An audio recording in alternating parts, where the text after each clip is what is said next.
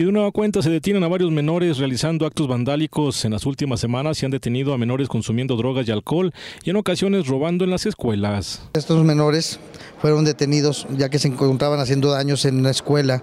Es la escuela primaria Salvador Allende, ubicada en la colonia Villa de Guadalupe. Estos menores se introducen a la misma y empiezan a hacer destrozos. Asimismo, los encuentra la unidad ya que tuvieron el reporte y fueron trasladados a lo que son los separos de la Delegación 2 para posteriormente ponerlo ante la autoridad competente y avisarle a sus padres.